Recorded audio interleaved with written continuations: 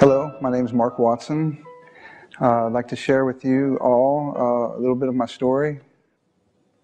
I've always been a believer in God, but really never had anything to like grasp onto. I was off on my own path, and as a young man, starting off in my 20s, because all I cared about was, you know, how high I can get up the corporate ladder and how much money I can make, and it was about status and you know, that's not really what life's about. It's really not what's important. Mark's will be done, not your will. And when it was Mark's will be done, all bets are off. When I'm left to my own devices, and I don't have the Holy Spirit within me, and I don't have God with me, and I'm not being a godly man, it's chaos.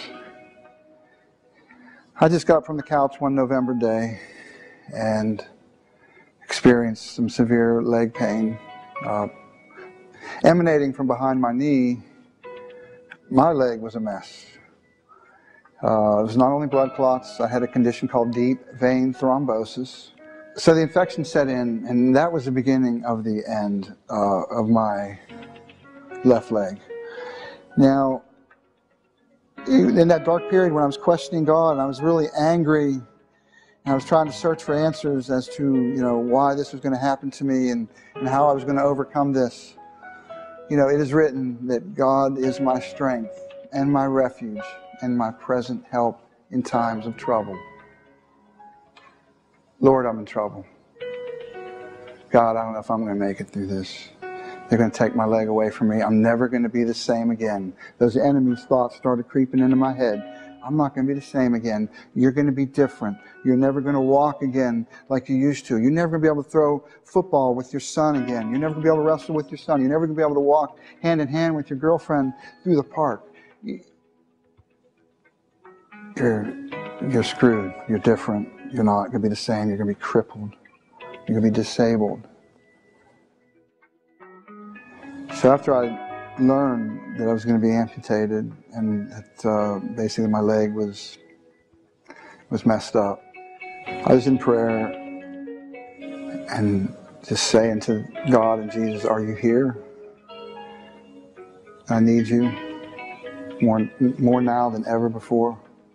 As I said earlier, I need your strength, your love, your power, your your courage, your hope everything that he is, I was going about to need. And um, so I'm sitting, I'm in intensive care unit of Shadyside East Pittsburgh.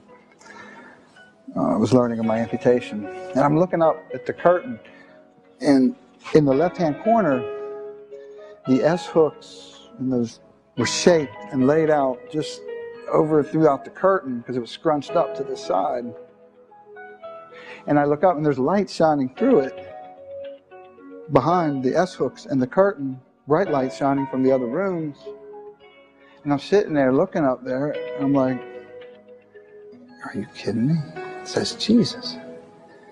The light is positioned just so perfectly behind those S hooks, and they're laid out just so right, and the curtains in a specific place.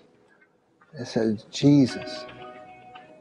And I'm like, wow, he's here. I got this. We got this. I'm going to be okay.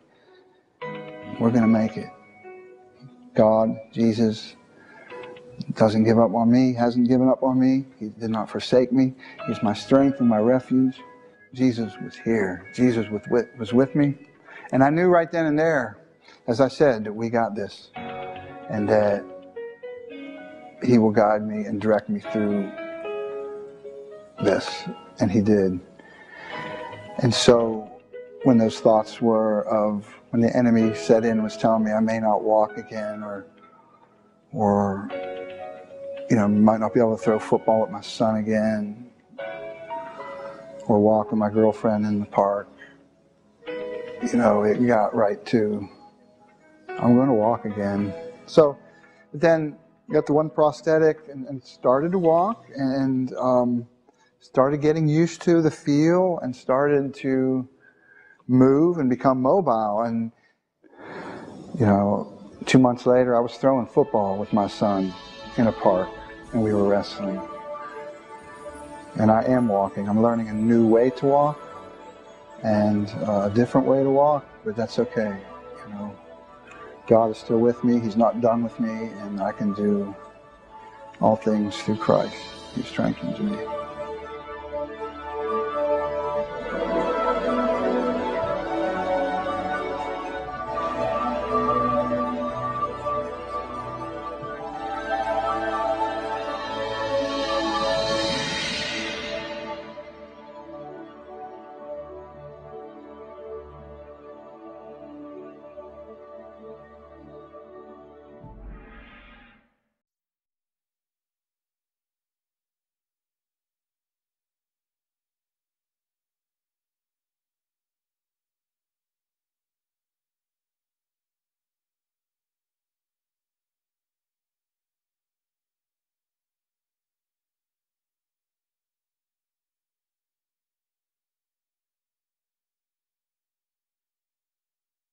And I want you to help me welcome tonight Mark Watson.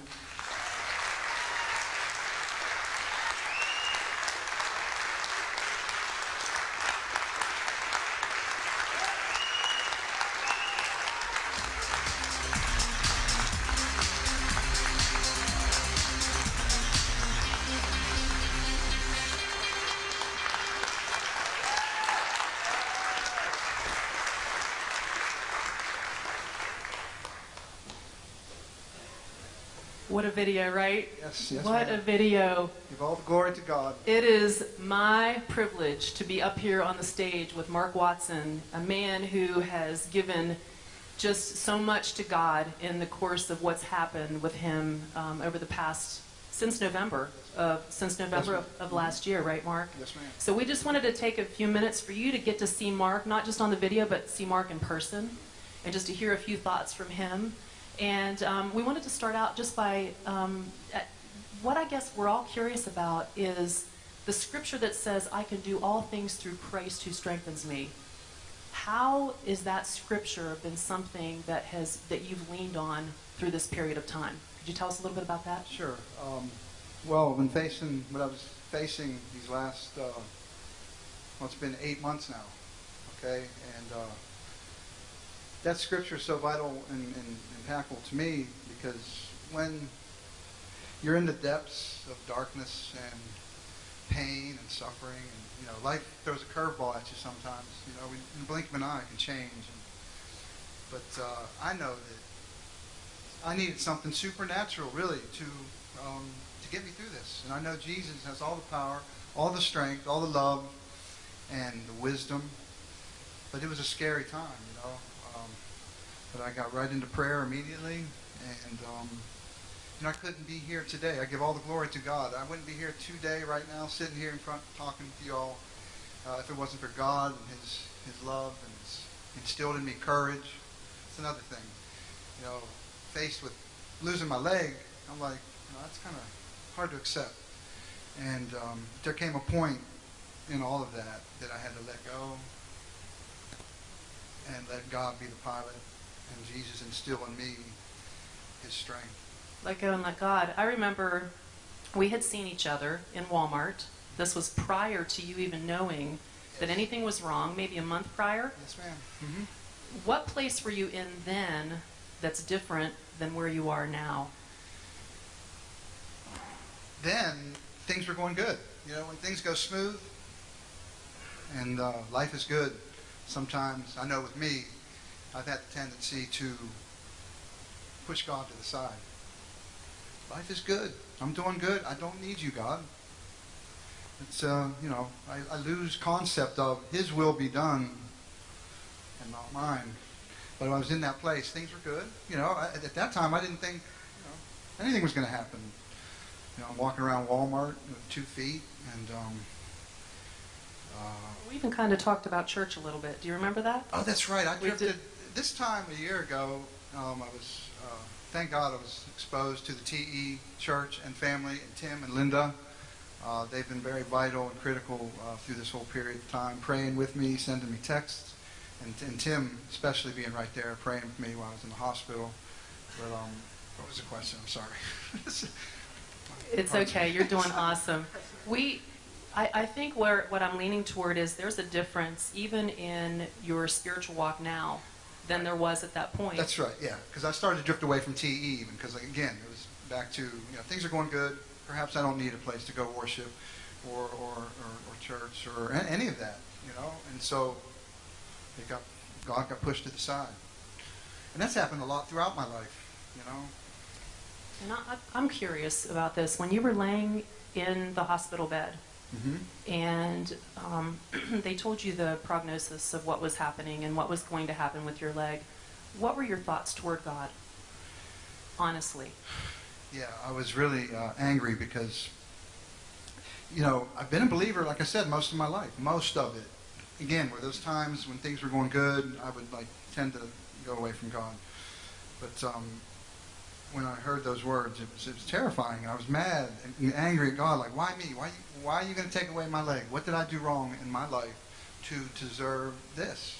You know, I've prayed to you constantly, uh, but I haven't done enough. It wasn't enough. I wasn't fully submitted, like Tim likes to say, and um, that it was uh, it was tough. You know, was, I was scared, and um, I questioned why he'd be doing something like that to me because you know, me, my leg. What are you talking about?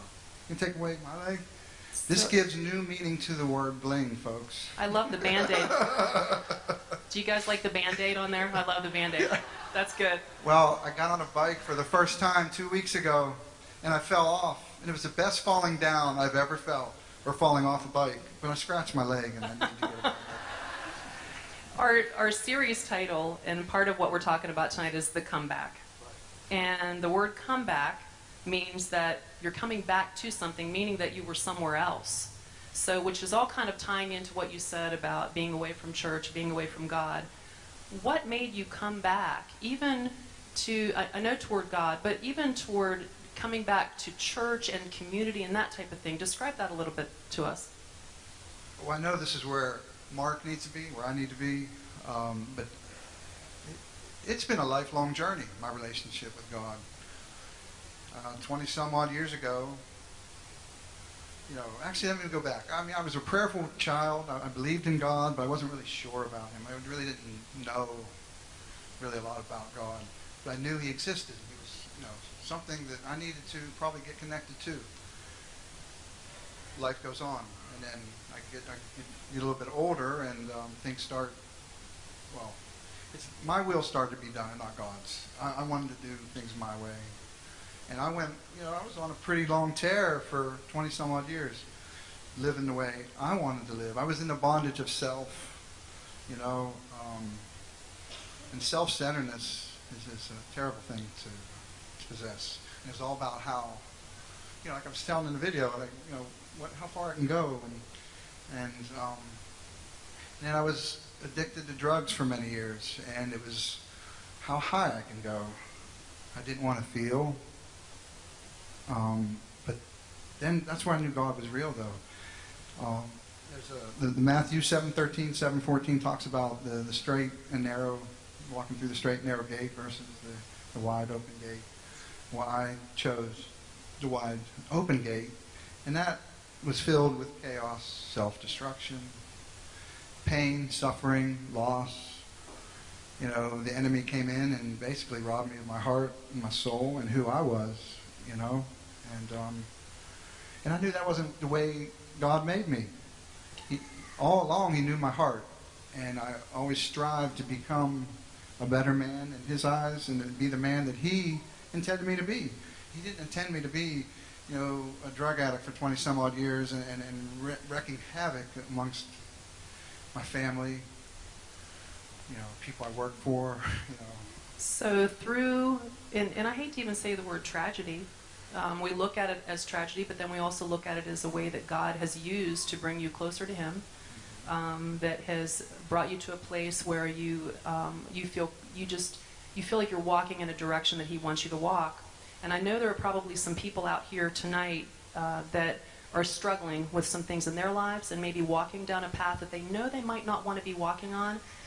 In the last part of this, I'd like you just to take the last minute or two just to share something. If you had anything to share from your experience, from what you've gone through, that you could tell them that would give them some kind of hope, some kind of perseverance, some kind of direction, what would, what would that be that you could say?